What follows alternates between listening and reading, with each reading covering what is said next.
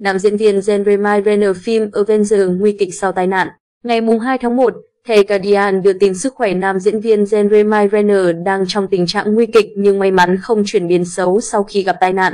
Nam diễn viên Jeremy Renner, nổi tiếng với vai Hockey trong loạt phim siêu anh hùng Avenger, nguy kịch sau tai nạn xảy ra trong lúc đang dọn tuyết bằng máy cày tuyết tại trang trại ở Mỹ. Jeremy Renner đã được trực thăng đưa đến bệnh viện cấp cứu ngày 11 sau khi cảnh sát được gọi đến hiện trường. Người đại diện của nam diễn viên không tiết lộ lý do Jeremy Renner có thể bị thương nặng đến thế, chỉ mô tả đó là một tai nạn liên quan đến thời tiết khi đang dọn tuyết. Người đại diện nói thêm rằng nam diễn viên đang được chăm sóc chu đáo và gia đình luôn túc trực bên giường bệnh. Jeremy Renner là người yêu thích máy móc hạng nặng, sở hữu một số máy cày tuyết lớn mà tài tử này dùng dọn tuyết trên lối đi trong khu vực trang trại của mình. Gần đây, anh từng phàn nàn về việc tuyết rơi dày đặc do những cơn bão tuyết chưa từng có càn quét khắp nước Mỹ.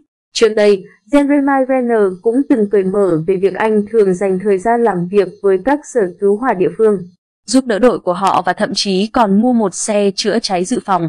Gần đây, anh từng phàn nàn về việc tuyết rơi dày đặc do những cơn bão tuyết chưa từng có càn quét khắp nước Mỹ.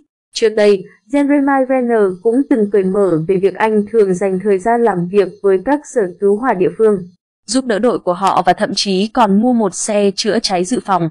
Nhiều người hâm mộ cầu chúc nam diễn viên nhanh chóng phục hồi sau tai nạn. Jeremy Renner là diễn viên thực lực, anh tham gia nhiều phim ngoài ở bên giới như American Hustle, Arrive, Wind River, Tuck, đã hai lần được đề cử Oscar.